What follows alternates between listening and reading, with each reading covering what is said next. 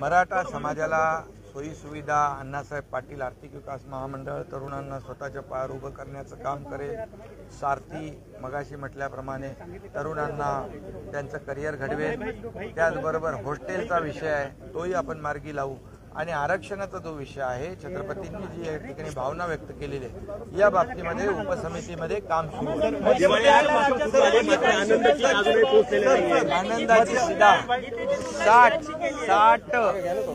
मी आता माहिती घेतली आठ तालुक्यामध्ये हे साहित्य पोहोचलंय आणि आता पूर्ण